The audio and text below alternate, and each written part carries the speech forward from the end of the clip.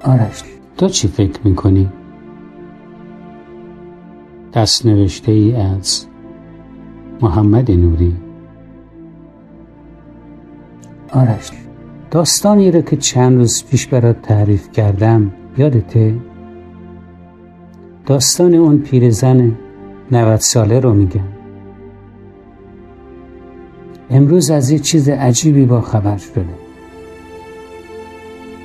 گفتم شاید برای تو هم به همان اندازه که برای من عجیب بوده عجیب باشه. امروز از دخترش بعد از سالها تلفنی داشتم. بعد از احوال پرسی و تبریک سال نو که خیلی باعث تعجب من شده بود گفت میشه از شما یه چیزی بپرسم. گفتم البته. پس از مدتی سکوت گفت شما دیروز رو مزار مامانم گل مریم گذاشتی با تعجب گفتم بله ولی شما از کجا می‌دونی؟ شما هم به دیدارشون رفته بودین؟ گفت نه من فرصت نکردم راستش من سالها سر خاک مامانم نرم گفتم پس شما از کجا می‌دونید که کسی اونجا رفته و گل برده؟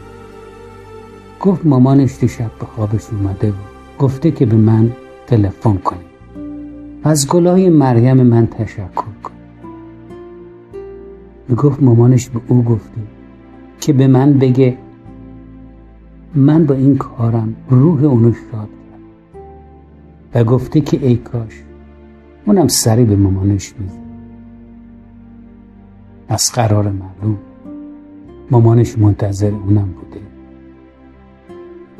می‌گفت اون چی بیشتر اونو به تعجب واداشته اینه که مامانش شماره تلفن منو بعد از این همه سال از داشته که به او داده و به دفترچه که آدرس منو توش نوشته بود اشاره کرد.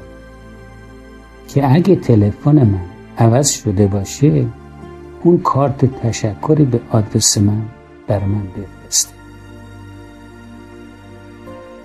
می‌گفت اون با تن لرزون از خواب بیدار شده بود.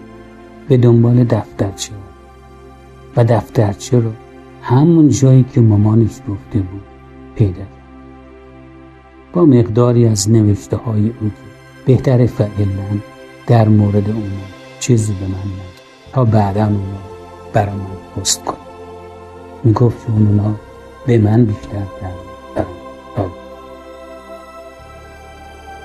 می‌گفت به همین خاطر وظیفه خودش دونسته که به من تلفن کن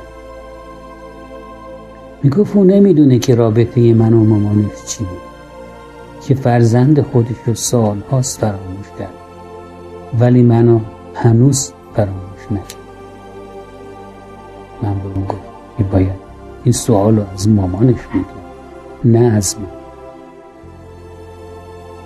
آرش تمام امروز به این فکر بودم که آیا ما واقعا از این دنیا پس از مرگ جدا میشیم؟